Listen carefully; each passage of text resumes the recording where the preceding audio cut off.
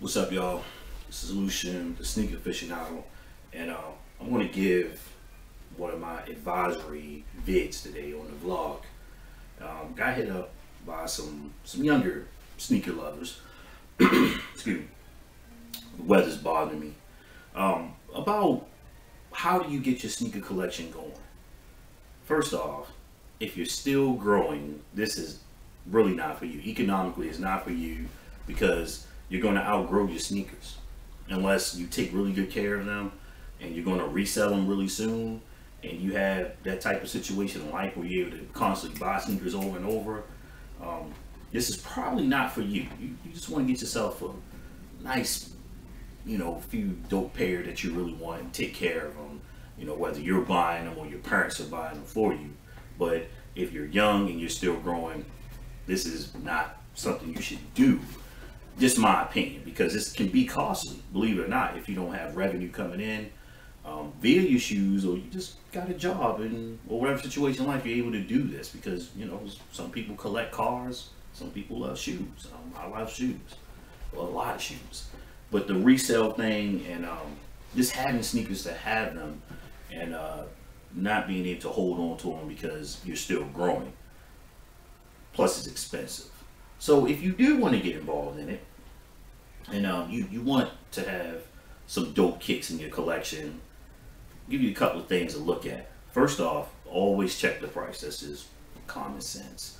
Um, if you're paying $189 for a pair of sneakers and you want to hold on to them for a while, take good care of them, keep them. You know, if your parents are buying them for them, show them that you're keeping the sneakers up. But sometimes, depending like the way I grew up, it made them not want to buy you another pair, right? Due to whatever's going on in your household. So you, that's a tip as well. But don't dog them out on purpose. But keep them up and they'll buy you another pair, you know, out of good grades or good behavior, whatever you're doing.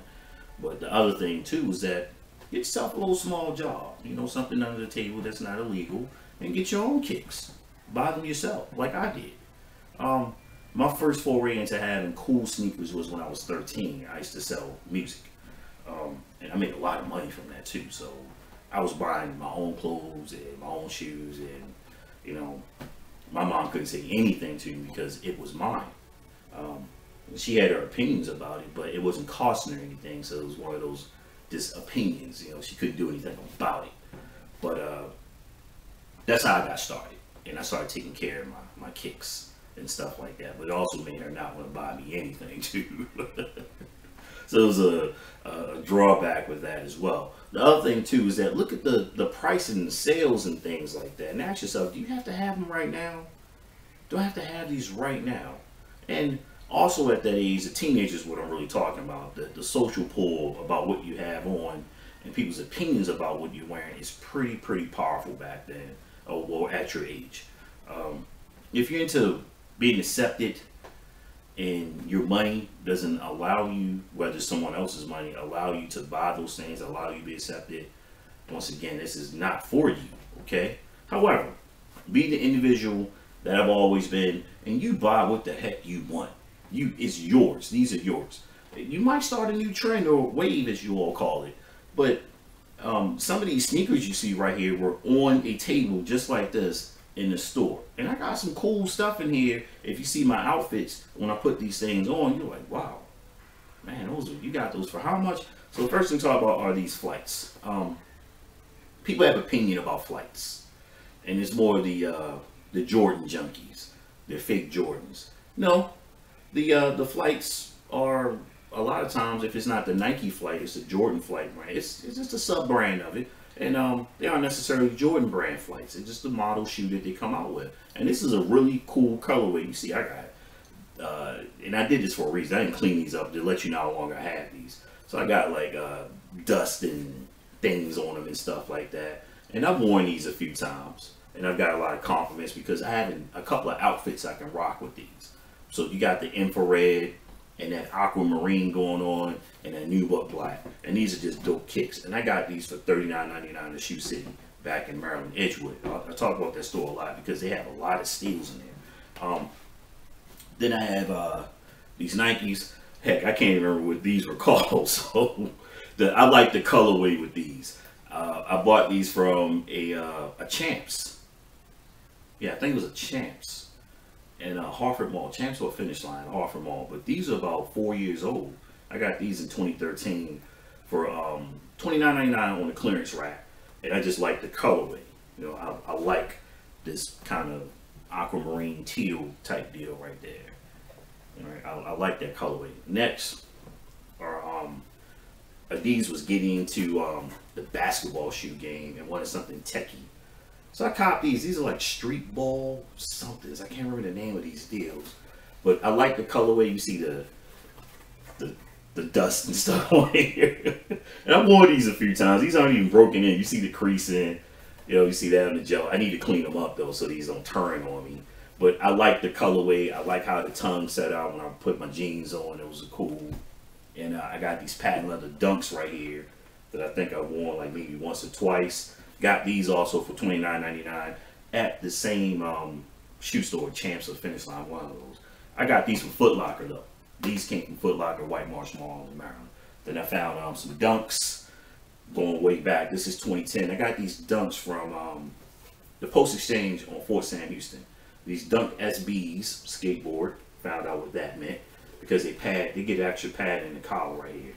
Got these for $39.99. And the PX doesn't discount a whole lot of stuff. They will work it. They will leave stuff on the shelf forever because they know someone's going to buy them eventually. And once they hit the clearance, it's probably like one or two.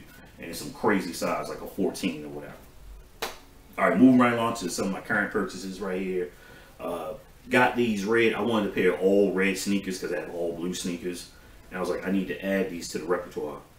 No gang affiliation at all. I'm too old for that stuff.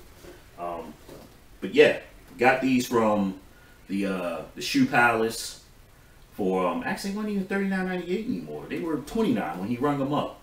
So I got these um, Dunk Comfort Premiums right here in red, and they call it light crimson, red if you will, and uh, twenty percent off on these deals as well. So this, this was still, you know, all white jeans, all white polo outfit, a couple of splashes of red in there, and I got these. So that was something I wanted. I like the um, Nike was doing a lot with this uh, this embossed star raised deal right here. It's on the Duck Boo. They did some um, Air Force Ones like this as well. Um, so that, that pattern is about a year and a half or so old.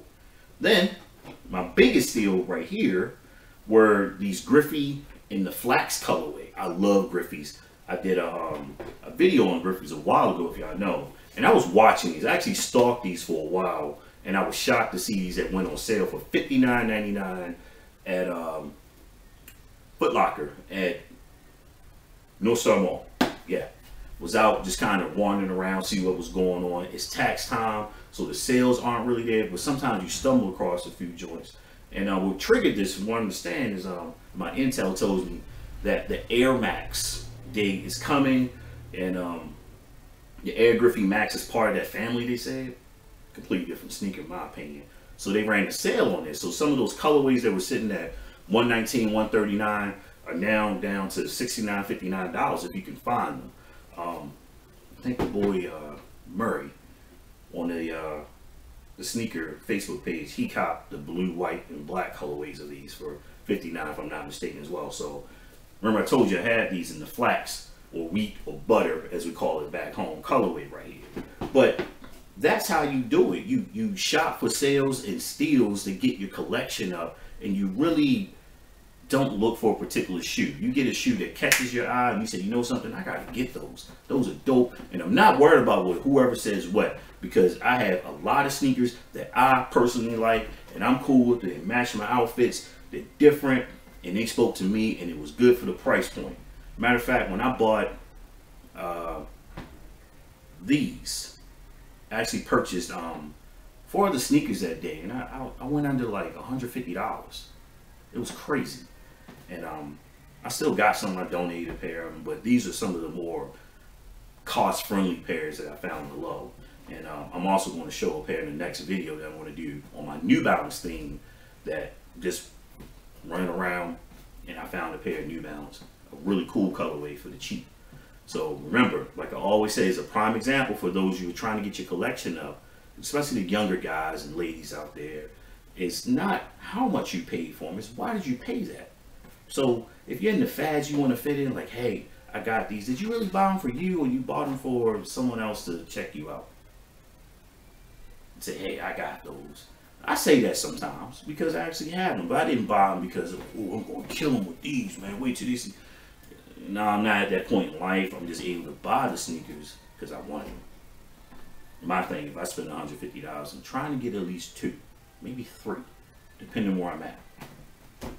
I go to Marshalls, uh, Ross, Burlington. I'm trying to come out there with three or four pair because I know they're marked down dramatically. Also, um, the outlets, they're B grade sometimes. Sometimes they're actually the legit shoe. Um, can't remember the cat out in Houston who did a, a video on that, but he did an awesome video on people's opinions about buying sneakers from the outlet. People, don't worry about that. Only thing I want to tell you, because I have a lot of sneakers from the outlet, is when you pick up that shoe, okay, they're there for a reason, marked down for a reason. Might be somewhat a small defect that you're going to have to really just look at the sneaker. If it just yells out at you and it's clearly a defect, then don't buy it unless you know you can do something to fix it. You know, people are into restorations as well. That's not my thing. I'm not going to go to the thrift and cop some um, some beat sneakers and put them back together a little bit, make them acceptable to somebody buy because they don't want to pay full price for them. That's not my line. I leave that to the other guys out there. That's just not what I do because the sneakers I buy, 90% of them I'm going to wear. I'm going to wear them at some point. Plus, I can give you a, a good um, review on the shoe as well. All right, and it's a respect because they see, oh, you know, yeah, he's actually wearing those. Look, the sole's dirty. You're not just sitting in the box looking pretty. If you got it like that, you got it like that. You know, I actually have it like that, but I, I prefer to wear my sneakers. All right, but I have so many they don't get beat up, and that's the key with your collection. When you start getting all those shoes out there, is um, take them off. You see me take the stuffing out a lot of my shoes right away. You know, when we doing the videos, you'll see like the stuffing and stuffing because I, I take care of them. I clean them off a lot of times. Like these are just dusty because they're sitting on a rack. I don't have the box for these shoes. That's why. Because I bought them off a shelf and they weren't in a box when I got them.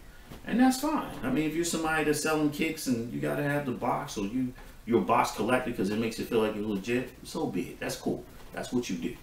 Nobody's to knock you on that. It's just depending on space and preference. That's all. And um, sometimes I kick myself in the head because I'm like, I should have kept the box to those. Does it increase the resale value?